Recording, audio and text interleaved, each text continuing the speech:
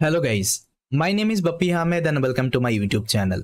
So guys, in this video, we'll be learning how we can uh, train one uh, instance segmentation model uh, with the help of YOLO 11. So I think you know uh, YOLO 11 actually recently came in the market and is published by Ultralytics. So uh, I think in my channel, I already created one tutorial how we can perform the object detection with the help of YOLO 11. Even I already showed you the custom training. Now in this video, I'll also show you how we can perform the instance segmentation.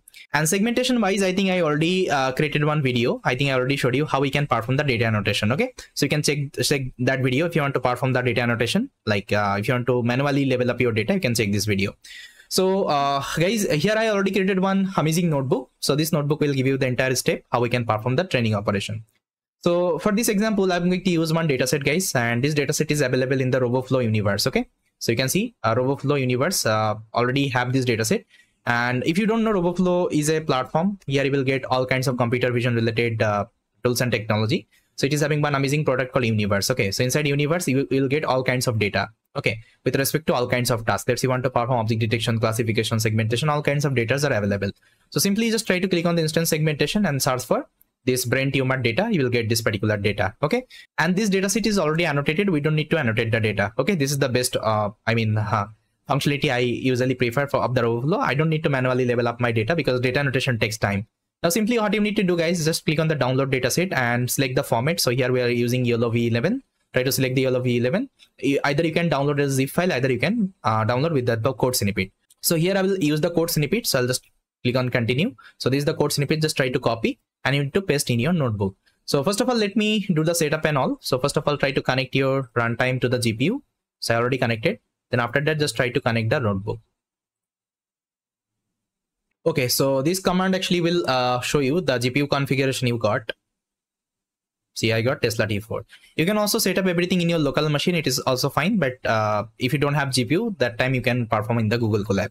Now the first thing you have to install the Ultralytics because I already told you uh, this YOLO 11 is available inside Ultralytics. So you have to install the Ultralytics package.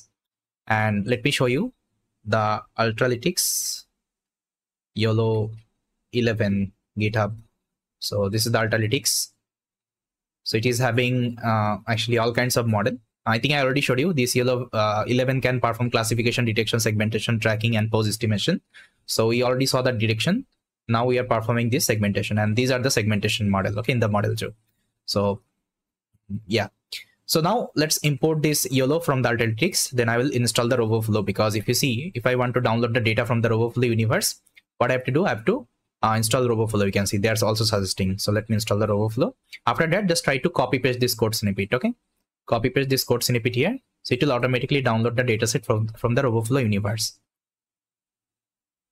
and if you're using Ultralytics YOLO 11 it's like very easy to train.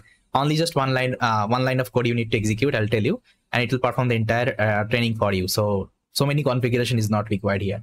Now see guys this is the data it has downloaded. Now you can see in the in the test image.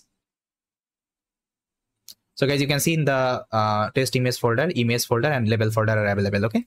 And it is also having one file called data.yaml so inside that it is having all the location of the data number of classes. That means uh, one classes we are having called tumor got it?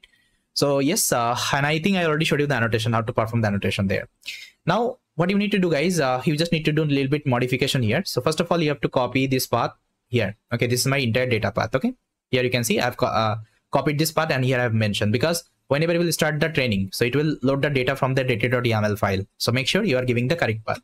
And open the data.yaml file path and try to change all the uh, these are the path actually. So let me open the train copy the image and try to replace with the complete path. Okay otherwise you may get some issue. So that's why we are giving the complete path here. Copy path for the validation as well and for the testing as well.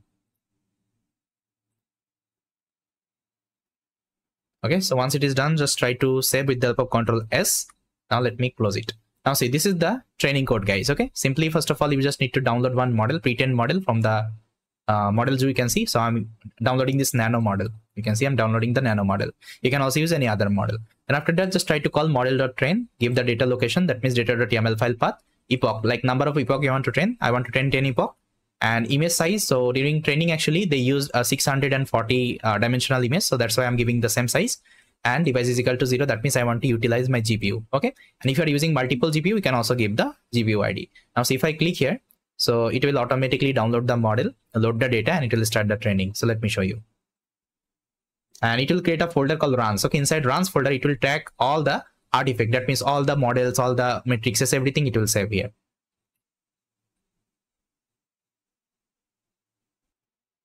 So guys as you can see my training has started and uh, you can see the log. Log is pretty good so it will show you all the real-time matrices like losses uh, then map score everything it will show you. So let's uh, complete the training. After that i will plot the graph and there i'll tell you uh, the model performance. And we'll be loading the pre-trained model uh, sorry we'll be loading our trained model and on top of that we'll be also doing the inference operation. So let's wait guys because uh, training will take some time. So guys as you can see my training is completed and uh, it is showing the entire map score uh, the map score should be close to one. Uh, if it is close to one that means your model is learning better. Now you can see all the artifacts has been saved in the runs folder. If i open the segment train and you can see this is my weight okay? So best.pt is my weight okay? That means this model we have trained and these are the matrices okay? All the matrices configuration you can see. So let me uh, uh, plot actually one uh, matrix called result.png so it will contain all the let's say matrices. You can see the training losses. That means epochs is increasing loss is decreasing. It's good and epochs is increasing map is also increasing okay? That means uh, my model is learning better. Map means mean average precision okay? So yes uh, now what i will do guys i will load the model. So you can see i'm loading my trained model. Now we'll be doing the inference operation. So this is the trained model location. So just copy the path and try to give it here. And let me upload some test data here. So that would be better. So i'll upload this three image. You can also upload the entire folder. You can also upload the video if you have. So everything will work now just simply copy the path and try to give the location here okay? Now if i execute so it will load my trained model and it will load the image and it will perform the uh, segmentation. You can see this is the segmentation and it is pretty good guys. You can see confidence score is 86 and you can see amazingly it has segmented. Even you will also get the bounding box because we know that if we are performing segmentation with that we also get the bounding box okay? Now let me show you another example. So i'm loading this three image. See okay? If you're performing the video you just need to give the video location. Okay? And if you want to use your camera you just need to give the camera id here. That means zero. So that's how we can use different different kinds of data. So yes guys that's how actually we can perform the uh, custom training of this yolo v11 on the instance segmentation. I hope you liked it. So thank you so much guys uh, for watching this video and i will see you next time